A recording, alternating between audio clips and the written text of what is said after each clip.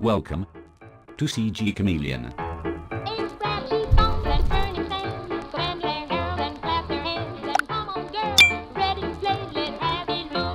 Hello and welcome to CG Chameleon. In this quick tutorial I want to show to share with you how how can we rig this plane so we can simulate or emulate that the ball is passing under it.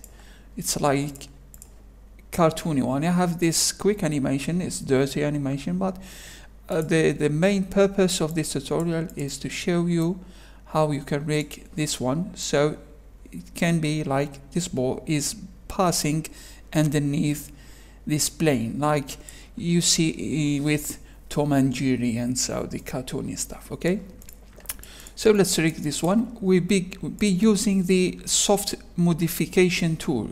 If you don't know if you know what it is how, how to use it you can skip this tutorial. If you don't know just stick around. I will be sharing my techniques with you okay?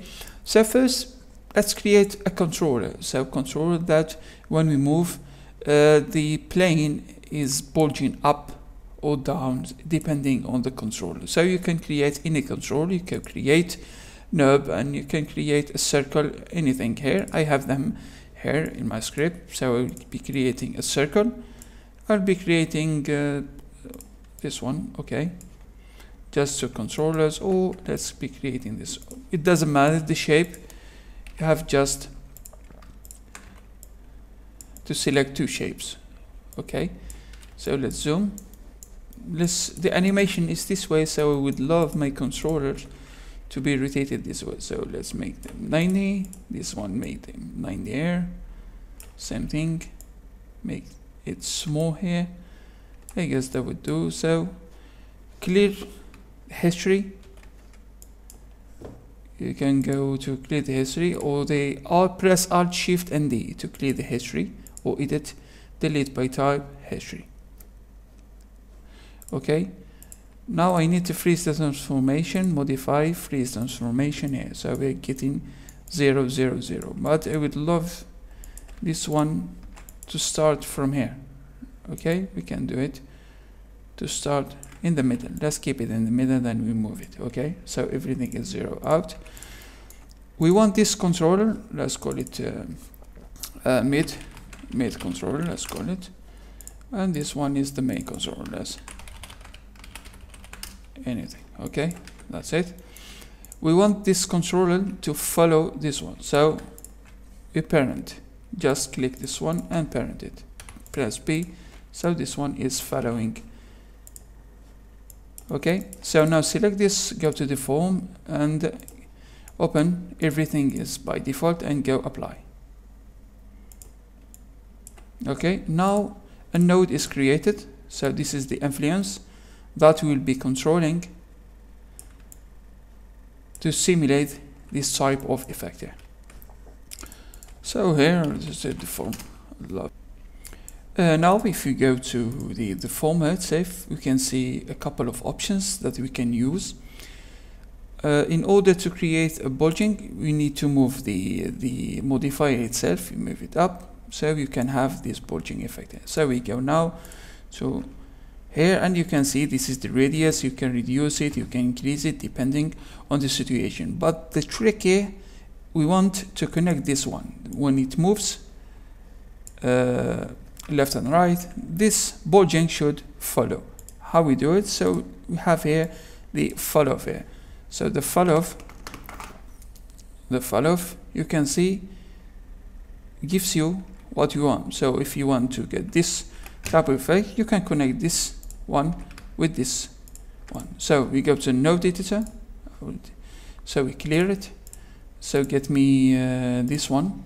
I need the first, I need the controller. I need this. So we go this one, go here and uh, select by name and select, press enter. So you can have it here and then you bring it, okay? Or you can search for it here. So that's the fastest way.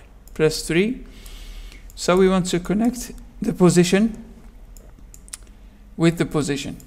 So position, we want X to control X, this one to control Z. So now if we move you can see we are getting this type of effect that we want here. Okay? It's easy. Now we want to control the bulging. So the bulge if we want like the bulging to raise up and down depending on this. So we can use this controller to control the bulging. So we can do it this way. So the same thing. So this is the rotation that is controlling. So we make it zero. We go to bring this one and bring bring this. Let's bring them. Let's clear. Let's get these two. So this one. Let's uh, get okay. So the mid controller and we rotate like translation with translation rotation with rotation okay? So now if you move this up it's going to move. If we rotate you can see we can get even a rotation okay? We can add uh, like uh, influence if we move this up.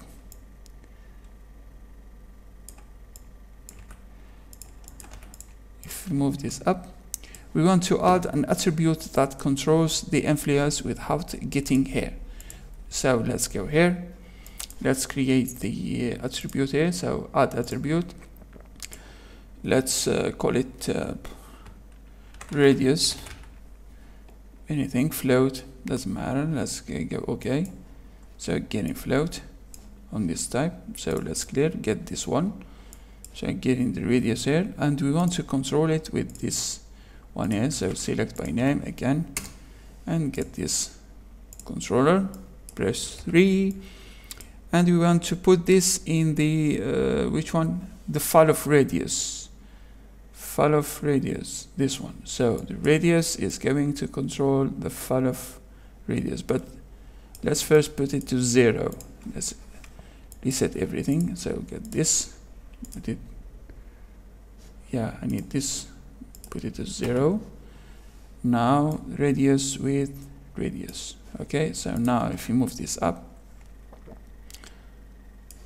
Okay we're getting a problem because this is let's put this one to 5 you can see now you can play. Of course you can put these two and so on. So you can get this type of effect I want. Okay so we had to you have now two controllers so now we can hide this one. And you have these two controllers here. So you can make it this zero. So we are getting this type of effect here. So okay. Okay now we can try to do the animation. For example let's go here. Let's go somewhere around uh, I think that's uh, really you can change the color. It looks ugly at least for me. Okay. So you can see we go here for example something uh, you can do now like you go S let's uh, do a key a key here now you can uh, so like this you can move this up around there so so here get a key here make it zero. Here so now of course you can now go to here around here and you can just move this one like like this or you can be tracking it. Of course you can do whatever you want as not tutorial im and you can just drag it out. So now let's check the animation let's press alt 1 so we can see the animation. I hope you liking this tutorial. I know it's uh, it's an easy one but uh, I wanted to share this with you. Okay wish you the best of luck good luck